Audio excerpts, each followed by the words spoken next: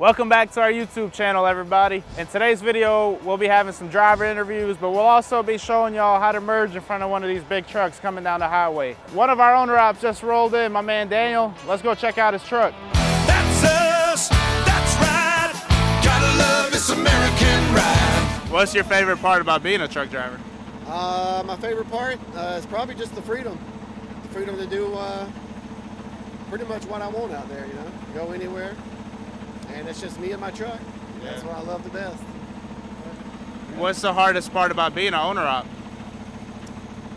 Oh man, as far as being an owner op, probably just the maintenance of the truck. Other than that, there's really nothing hard about it. I love it. Yeah. Yeah. How's the maintenance? It ain't cheap. Hell no, it ain't cheap. I heard that, man. yeah, it ain't cheap at all. But if you take care of it, it'll take care of you. So you can minimize those costs by just taking care of it. Yeah, for Yeah. sure. What's your advice for new truck drivers just getting started? Oh man, that's a tough one. Uh, as far as an owner op goes, save every penny you can. Save every penny you can. Put money away because things are going to happen. It's going to cost you money. Yeah. Yeah. A lot of guys have the issue of managing their money. It doesn't matter how much they make. They splurge and spend it all. I know it. How do you feel about that? Well, I'll be honest with you. I made my own mistakes, Yeah. and I've learned the hard way. It took me a while to learn that, but that's what I have learned. The more money you save, the more money you put aside, the easier it is when stuff does happen. Yeah, for Yeah. sure. And something can happen at any time. Anytime, any second. Yeah, for sure. Yeah. What's one place in America you wouldn't go with the truck?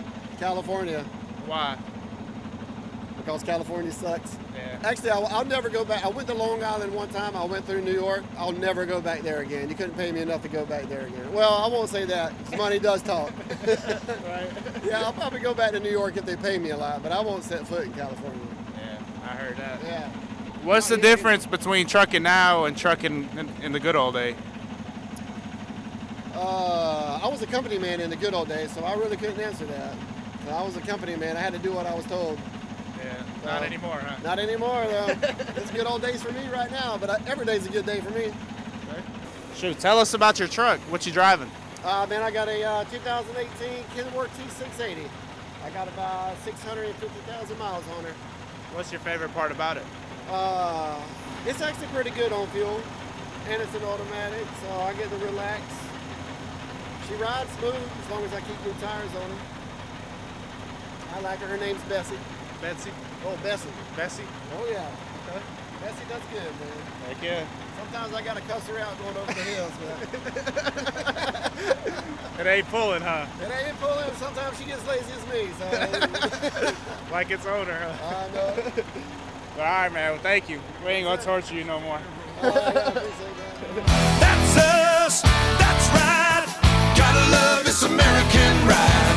Don't cut off a semi truck. So when should you get in front of one of these big trucks? I would say when you see the top of the truck in your side view mirror, then you start making your way into that lane, but you must maintain or accelerate your speed. The last thing you want to do is get in front of that big truck and start slowing down and hitting your brake. Let's also go ask one of our truck drivers here and see what he thinks about it all. When would you say is it safe for a car to merge in front of a truck? That's just that's just hard to say, man. We can't drive for nobody else because they are leaving us in no open.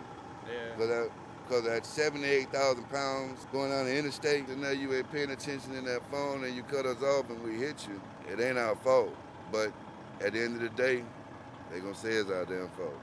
Yeah. Protect yourself, protect others. Let's all get to where we're going safely. This is just my advice as well. So if y'all have anything else to say or add to it, comment it down below. Let's help keep each other alive. We have someone that's been with us for years actually. Let's go talk to Dre here and see what he got to say. That's us, that's right. Gotta love this American ride. What's up everybody? We got my man Dondre here.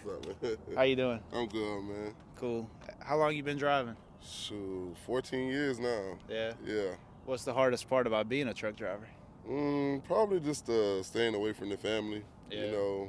But other than that, it's, it's really not hard I'll End up dealing with the craziness out on the road, but other than that, that's probably about the hardest part. What's the craziest thing you've experienced as a truck driver? Hmm. Maybe somebody trying to fight you at a shipper or receiver. That happened to me once. So, Why, man? Who'd you piss off? No, I, I didn't do the pissing off. It was people. I guess he was mad at the world, so he guess he took it out on me. But I I just asked him a question like like Where's the chicken? And it's it took off from there. So Oh, uh, like so you'll never know what people going through. You know, being out here on the road. So yeah, it ain't easy. it ain't easy at all, man. What's the worst lie you've ever heard in trucking?